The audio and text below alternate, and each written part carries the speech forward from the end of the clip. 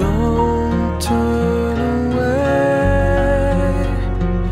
I pray you've heard the words I've spoken.